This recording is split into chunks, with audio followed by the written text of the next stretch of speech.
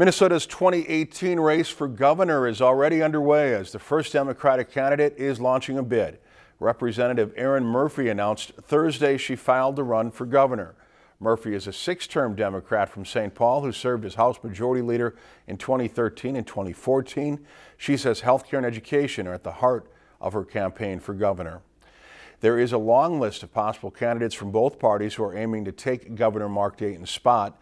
Dayton has said his second term will be his last at the Capitol.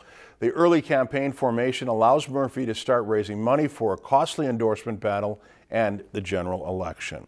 If you've enjoyed this segment of Lakeland News, please consider making a tax-deductible contribution to Lakeland Public Television.